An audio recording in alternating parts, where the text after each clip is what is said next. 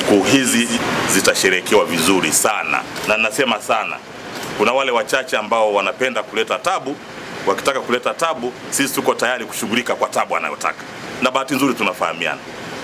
Kama unataka tabu, jiingize wakati huu, lakini la msingi tunajua kwamba wengi ni wazalendo, tutasherekea vizuri na tutamaliza shughuli vizuri, na kila mtu atarudi na kwenye familia yake vizuri. Kwa hiyo sisi kama jeshi tumejipanga vizuri, tutaanza doria za barabarani, wataona askari kwa wingi sana doria tutakuja na helikopta pia, lakini doria pia ziwani, baharini, tutakuwa na doria za kutosha.